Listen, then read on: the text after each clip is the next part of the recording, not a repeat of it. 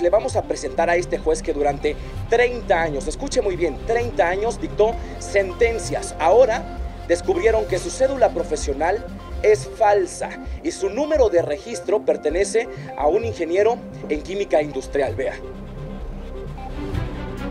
Un grupo de abogados denunció al juez penal de Cholula, José Refugio Alejandro León Flores, ante el Consejo de la Judicatura del Tribunal Superior de Justicia de Puebla. Lo acusan de que durante 30 años dictó sentencias con título y cédula profesionales falsos.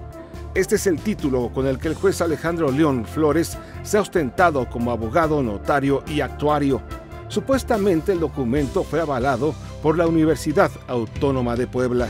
De acuerdo al Registro Nacional de Profesiones de la Secretaría de Educación Pública, la cédula profesional número 142-5767, con la que el juez penal de Cholula, Puebla, José Refugio Alejandro León Flores, se ostentaba como abogado, pertenece a un licenciado en Ingeniería Química Industrial, graduado en el Instituto Politécnico Nacional en 1989. En el mismo registro de la CEP existe una cédula profesional a nombre de Alejandro León Flores, pero fue expedida en el año 2018, avalada por la Benemérita Universidad Autónoma de Puebla.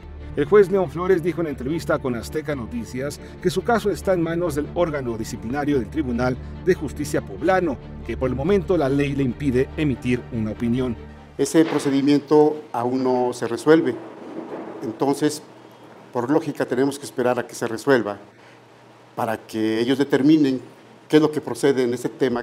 También dijo que continúa en el cargo porque cuenta con una constancia que lo acredita como abogado en la que asegura que realizó sus estudios correspondientes, así como el examen profesional el día 8 de diciembre de 1987, según consta en registros de la Dirección de Administración Escolar. El documento fue expedido el 23 de septiembre del 2018.